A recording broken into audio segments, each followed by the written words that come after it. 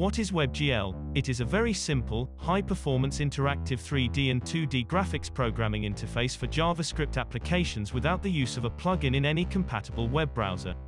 It is useful for several applications. So what are the benefits of publishing to WebGL?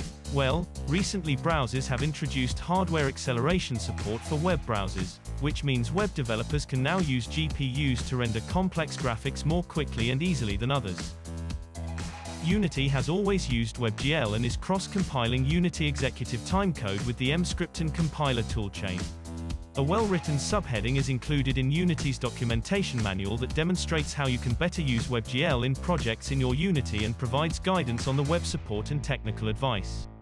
Here you can find information about the best graphics and audio using the WebGL API and how to customize the API in your applications and games. Publishing on itch.io it's a gamble to put your game on Steam.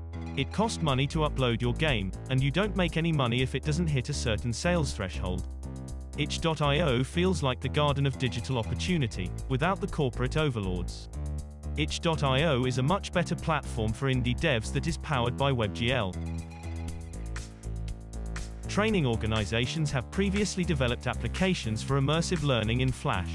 Although they were good at the time for students and complex subjects teaching in a digestible format, they are now outdated, unaffected, and unsupported in modern browsers.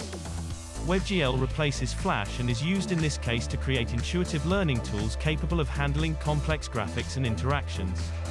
WebGL was also adopted by major brands for the efficiency of graphics. For example, the PS4 UI is powered by WebGL, allowing its menus and components to operate properly with minimal lag. Whenever a user logs into their PS4, they execute a WebGL code. The architecture sector is making 3D viewing more available, integrating WebVR, even more, to immerse customers in the display of assets. WebGL is used for detailed 3D models in e-commerce, particularly with high-quality products. It helps users to update their product visualization in real time by offering a variety of interactive customization tools. The approach improves the consistency and tangibility of goods for potential customers. WebGL has begun the discovery of other 3D technologies such as WebVR and WebAR. Google, Mozilla, and Microsoft all help us to determine what type of VR and AR will be like in the future.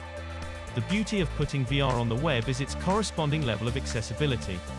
The ability to build and distribute content quickly by using a URL without having to go through an application store allows brands, educators, and retailers unparalleled coverage. It's still a new world, but visibility and demand are gaining rapidly. WebAR represents the next logical step for browsers.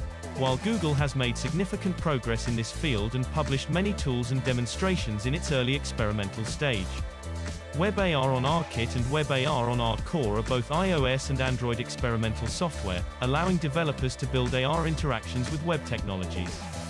WebGL gives a degree of influence never felt before by all manner of consumers, from designers and teachers to commercial retailers. It's a new world, but popularity and demand are gaining traction. Thanks for watching our video. If you would like to support us, just hit the subscribe button below and feel free to check out our Patreon. Your support will help us make better tutorials and game design news videos.